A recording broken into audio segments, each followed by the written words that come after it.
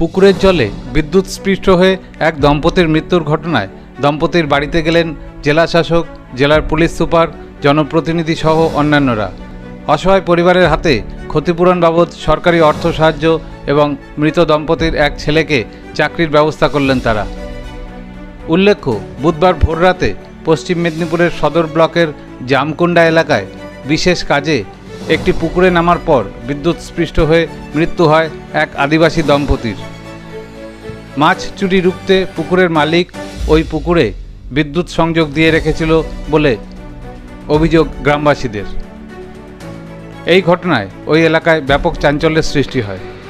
ক্ষোভ তৈরি হয় পুকুর মালিকের বিরুদ্ধে। ক্ষুব্ধ গ্রামবাসীরা পুকুর মালিকের বাড়িতেও ভাঙচুর চালায়। অবিলম্বে তাকে গ্রেপ্তারের দাবিতে মৃতদেহ আটকে রেখে বিক্ষোভও দেখান গ্রামবাসীরা।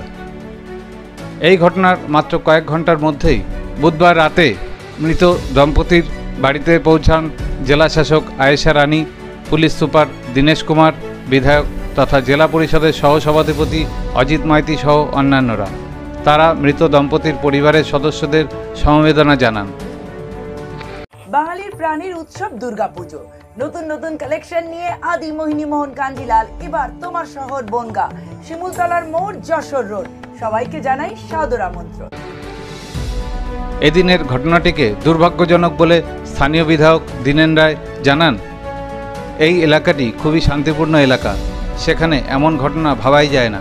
এ ব্যাপারে প্রশাসন যাতে আইন অনুযায়ী উপযুক্ত ব্যবস্থা গ্রহণ করে, তার জন্য জেলাশাসক এবং পুলিশ সুপারকে অনুরোধ করা হয়েছে। এটা বলার কোনো ভাষা নেই। এই ধরনের একটা মর্মান্তিক, জঘন্য ঘটনা এটা ঘটে যাবে এটা আমরা ভাবতেও পারিনি। এবং এটা জামকুন্ডা গ্রাম, বক্সাগড়া, পাঁচকুড়ি, মেদিনীপুর সদর ব্লক, আমার বিধানসভার মধ্যেই পড়ে। এই ঘটনাটা আমরা শুনে সম্বিত হয়ে গেছি। এবং এখানে গ্রামের মানুষ এখানে সুখে শান্তিতে বসবাস করে, জাতি, বর্ণ, ধর্ম নির্বিশেষে।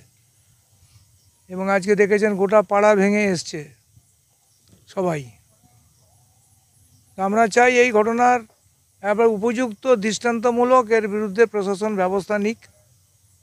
এবং আমি অলরেডি মেদিনীপুরের জেলা শাসক এসপির সঙ্গে কথাবার্তা বলেছি। এদিন জেলা প্রশাসনের পক্ষ থেকে মৃত দম্পতির পরিবারের সদস্যদের হাতে সরকারি ক্ষতিপূরণ বাবদ দু লক্ষ টাকা করে মোট চার লক্ষ টাকার চেক তুলে দেওয়া হয়।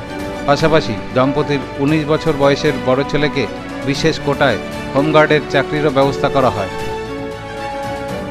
আজকে একটা আমাদের এখানে পাঁচকুড়িতে একটা মর্মান্তিক ঘটনা হয়েছে। আমরা খুব দুঃখিত, দুজন মারা গেছে। সেজন্য দুটো ছেলে ছিল, তারা অনাথ হয়ে গেছে। আমাদের মাননীয় মুখ্যমন্ত্রীর নির্দেশে আমরা সবাই এসপি আছেন, অজিতবাবু রয়েছেন, স্থানীয় এমএলএ রয়েছেন। আমরা এখানে এসেছি, তাদের যে ক্ষতিপূরণের টাকাটা আমরা চার লাখ টাকা দিলাম। এবার বড় ছেলে যখন আঠেরো বয়সে ঊর্ধ্ব তাকে একটা স্পেশাল হোমগার্ডে চাকরি দেওয়া হচ্ছে। যে পুকুরে এই ঘটনা ঘটেছে, সেই পুকুরের মালিক সৈয়দ আলী একজন পঞ্চায়েত সদস্য। অভিযুক্ত ওই ব্যক্তিকে কোতোয়ালি থানার পুলিশ ইতিমধ্যেই গ্রেপ্তার করেছে বলে পুলিশ সুপার জানিয়েছেন। একজন অভিযুক্ত যে ছিলেন শেখ সৈয়দ আলী ওটা আমরা ইনফরমেশন লাগা পরে সঙ্গে সঙ্গে অ্যারেস্ট করে নিয়েছি ও পুলিশ কাস্টাডিতে আছে। আমরা কালকে লালনেট কোর্টের কাছে ফরওয়ার্ড করব। এই জোড়া মৃত্যুর ঘটনায় অসহায় হয়ে পড়েছে পরিবারটি।